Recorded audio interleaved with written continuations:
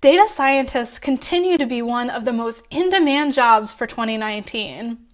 In this Data Scientist Salary Guide 2019, find out what you can expect to be paid based on market predictions and hiring data. Hi, I'm Jen. Welcome to the channel. Glassdoor ranked data scientists as the number one job for 2018, and there's an expectation that will carry through into 2019 as well. With a substantial salary, high job satisfaction, and an ever increasing number of open positions, data science is a great career to enter or continue growing in during 2019. If you're curious to find out the difference between a data scientist and a data analyst, check out the linked video.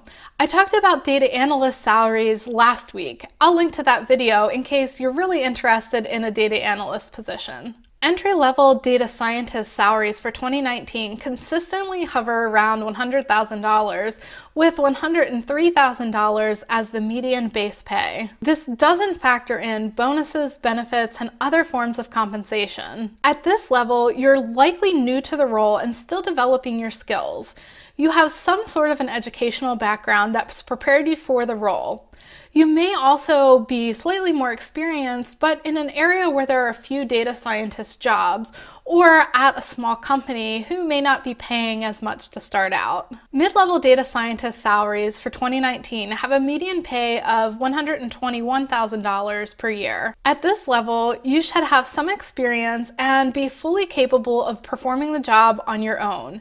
You may have to consult someone with more experience in extremely complex situations, but most of the day-to-day work is stuff that you can do independently. Data scientists with much higher levels of experience or specialized experience can expect to make more. This is also true of markets where there are a lot of job openings and few qualified data scientists to fill the role. This could also apply if you're entering a large company and especially one where there's a lot of complexity in the day-to-day -day work. For these data scientists, the median median salary is $147,000. In extremely competitive markets or ones that require a significant amount of experience or multiple specialized certifications, pay can reach or exceed $200,000 per year. All of these salaries are just base pay. This means benefits, bonuses, profit sharing, those sorts of things are all on top of this, and they can easily add up to tens of thousands of dollars or more. These salary levels also don't account for location differences,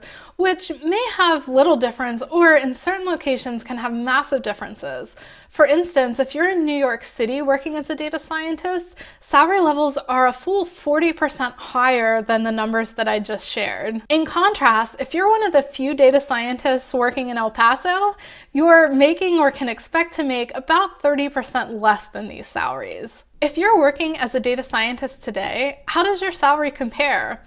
Maybe your pay is lower, but you have benefits or bonuses that make up some of the difference. If you want to know the total value of your compensation, check out the compensation worksheet in the link below. You can input all of your financial compensation and it will automatically calculate the value. If you're watching this video as research because you're considering a data scientist job offer, check out our negotiation coaching. I'll work with you one-on-one -on -one to create a custom negotiation plan walking you through the entire process and teaching you the negotiation skills and tactics to help you land a higher salary or more benefits and bonuses.